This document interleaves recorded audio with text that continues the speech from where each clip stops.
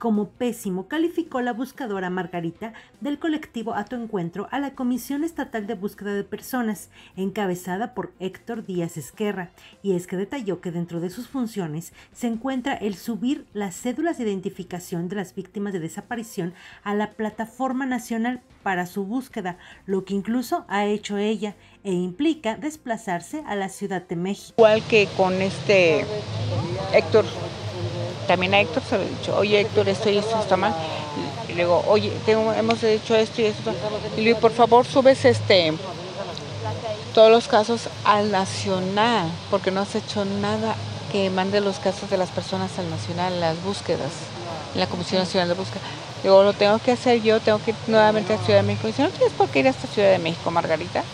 Aquí lo podemos hacer. ¿Y dónde está? Porque no está, no ha hecho nada hasta el momento. De acuerdo con la activista, hace falta el trabajo de la Comisión Estatal para que se difundan las fichas de búsqueda de personas desaparecidas a nivel nacional.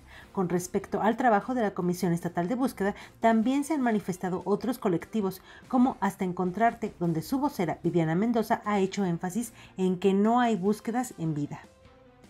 Para Zona Franca informó Laura Villafaña.